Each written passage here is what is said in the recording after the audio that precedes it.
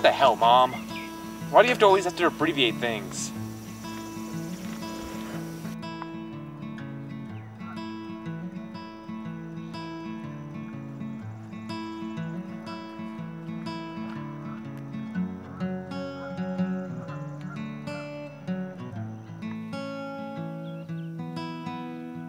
Hey!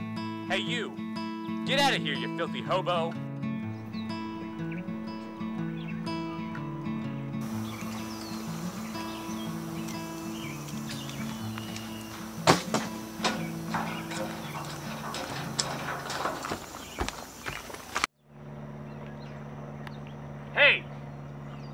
Hey, you! Stop! Stop fishing there! Can't you hear me? Nah, man, I'm good right here. Dude, I caught something! Really? You really caught something? Yeah! Ah, oh, it's a big one! Ah, jeez. Must be, must be 10 pounds at least! Ah! Ah!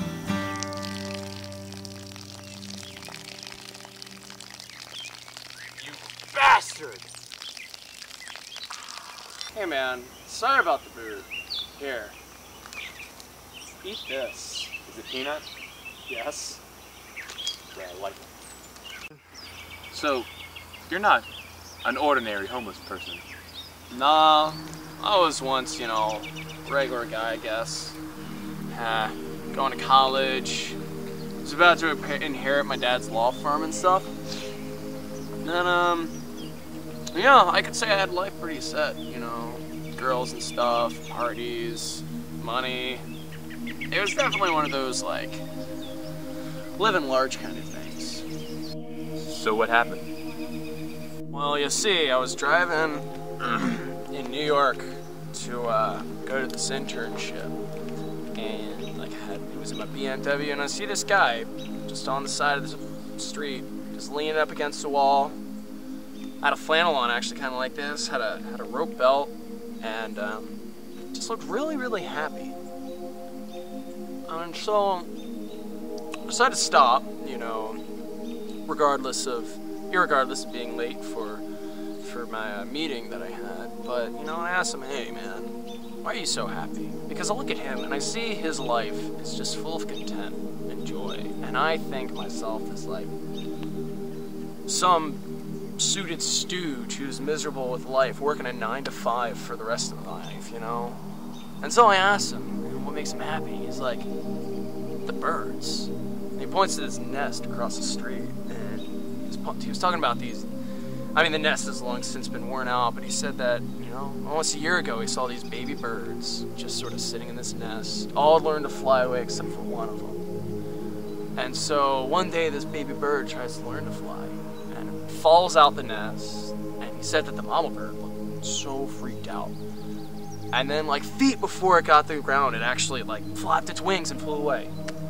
So it could so freely travel with, with just, you know, it being itself. So I said, so what did you decide to do after that? He said, well, I'd open my eyes to traveling with just what I have on my back, seeing what I can find. You know what? He suggested I try it too. Said, okay, that sounds pretty cool. So I did. And uh, I gotta say, it, it's been pretty great.